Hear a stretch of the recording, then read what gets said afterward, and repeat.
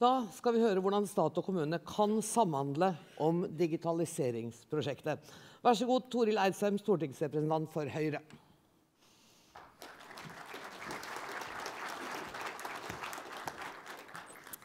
Ja, tusen takk for det. Og uh, nå har vi jo fått noen gode ord til innledning. Og jeg uh, forstår det sånn at dere har hatt interessant, uh, en interessant og lang dag i dag med mye snakk om digitalisering.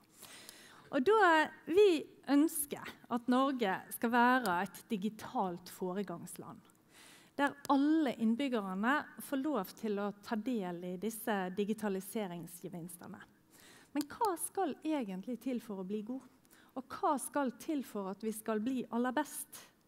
Og da gjelder i høyeste grad regelen om at en blir ikke sterkere enn svakeste ledd.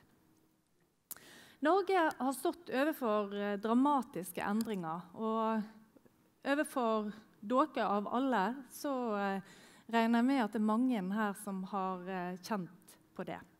Det skyldes oljeøkonomien som har vært på hell, med pri og priser på importerte varer som har gått opp. Det har vært arbeidsinnvandring som har gått ned, globalisering som har satt press på norsk arbeidsmarked. Men samtidig så ser vi at dette faktisk òg åpner for noen nye muligheter. Økt etterspørsel etter velferdstiltak det er ett eksempel på dette. For i et velferdssamfunn som det norske så vil tilbudet av offentlige tjenester kontinuerlig øke, sånn at omfanget av kostnader knytta til offentlige tjenester vil bli en stadig større andel ut av BNP. Og dette er en utvikling som eh, vi må ta litt skylddeling på, tenker jeg, i sammen med innbyggerne, som stadig får høyere forventninger. Vi forventer teknologiske løsninger som skal være en del av den ordinære omsorgstjenesten. Vi forventer innovativ teknologi. Og vi forventer òg at eh, velferdsteknologien Eh, skal integreres som en naturlig del av innholdet i de kommunale tjenestene. Men dette mener jeg òg at uh, synliggjør omstillingsbehovet i offentlig sektor. Jeg hadde gleden av å uh, sitte som saksordfører for Digital agenda på Stortinget når den var til behandling. Og det må jeg si at det var et veldig godt tverrpolitisk samarbeid om den meldingen. Det synes jeg lover godt. Og nå hørte jeg eh, like før, her, eh, før pausen at det faktisk ble vist til digital agenda, og at der ligger det en rekke punkt som viser hvilken retning vi kan og bør gå. God, eh, denne meldingen har gitt oss en god oversikt over mange av de digitale utfordringene som vi faktisk står overfor. Men så er det en gang sånn at når den digitale politikken skal gjøres konkret, så er det ikke alltid like opplagt hva som er det viktigste. For er det sikkerhet, er det rettigheter, kompetanse, er det utdanning, er det delingsøkonomi, er det plattformer, eller er det kringkasting, eller er det tilgang på data, eller var det faktisk bredbånd? Og så er det en annen problemstilling. For hvor hører egentlig denne digitale politikken hjemme? Totalansvaret for den digitale politikken har sånn historisk vært litt på vandring. Ofte litt tilsynelatende tilfeldig, og sjelden knytta til de store diskusjonene om eierskap. Og så har vi det at sektoransvaret det er hardt meisla i norsk politikk. Så optimal utvikling ut av den digitale politikken vil ikke kunne skje i én og samme silo. Vi trenger et godt samspill sektorene imellom, og mellom det offentlige og det private. IKT er ikke problemet, men løsningen, har det blitt sagt. Men i så fall, hva er problemet? For bak overskriften om digitalisering og teknologiutvikling så ligger det dyptgående endringer ut av samfunnet vårt og av offentlig sektor. Og det er disse som utgjør det egentlige problemet som en nasjonal IKT-politikk må rette seg imot. Og for at Norge skal kunne hente ut digitaliseringsgevinstene, så trenger vi en offensiv offentlig sektor. Vi trenger en god innovasjonsdriver. Ikke utvikler, men en driver. Innovasjon i offentlig sektor forutsetter en endring i forvaltningskultur som muliggjør digital utvikling.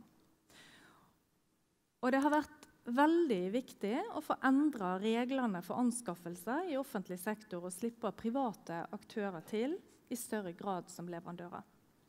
Kompetansehevende tiltak er iverksatt, og vi skal òg videreføre de for å kunne bidra til at alle parter fra at eh, departement til etater og òg kommunene bedre kan kunne forstå sin rolle, eller se sin rolle, eller få sin rolle. Og at de ser hvilke virkemidler som kan benyttes for å ta i bruk ny teknologi og bidra til nye og mer effektive tjenester. Informasjon og kunnskap er i tillegg viktig. For det er driveren for økonomisk vekst. Økonomisk vekst basert på kunnskap det har ingen begrensning. Og loven om fallende avkastning ved økt produksjon den gjelder ikke her. Tvert imot så vil faktisk økt produksjon eller distribusjon, distribusjon av kunnskapsbasert IKT-produkt det vil gi økt avkastning. Og så har jeg lyst til å nevne at I tillegg så er det viktig for Norge at vi ligger i forkant at vi ligger i forkant av den politiske dagsordenen i EU. For den politikkutviklingen som skjer der, er det viktig at vi er i forkant når høringer og initiativ blir tatt eller lansert, sånn at vi eh, kan få på plass en innretning ut av politikken som vi er tjent med. Men mest av alt så er og blir digitaliseringsarbeidet et samarbeidsprosjekt, som det ble sagt fra KS her. Og alle er nødt til å være med for at vi skal kunne klare å lykkes. Det er et sterkt behov for at staten blir bedre til å koordinere statlige digitaliseringsinitiativ. Det er jeg helt enig med. Eh, når det gjelder det som har en konsekvens for kommunal sektor. Men når det gjelder strukturering av digitaliseringsarbeidet, så mener jeg at det er et viktig ledelsesansvar innenfor hver enkelt sektor. Estland, som ofte blir trukket fram som et foregangsland, de har organisert dette arbeidet veldig likt det som vi har valgt å gjøre i Norge. Der hver statsråd har ansvar for det, men òg at en koordinerer det på tvers der gjennom Digitaliseringsutvalget. Tilsvarende mener jeg at uh, en òg som ordfører i, en kommune må ha forventninger til at uh, digitalisering skjer hos sine etatsledere. Og så vil jeg understreke at fylket bør ha en viktig koordineringsoppgave. Og jeg har hørt det har blitt vist til Hordaland, og det er som uh, innbygger der så jeg er stolt ut av den måten en har klart å jobbe sammen, både kommune og fylke der. Og jeg vet òg at Trøndelag er et godt eksempel på hvordan en har lykkes med å benytte fylket som koordinerende enhet.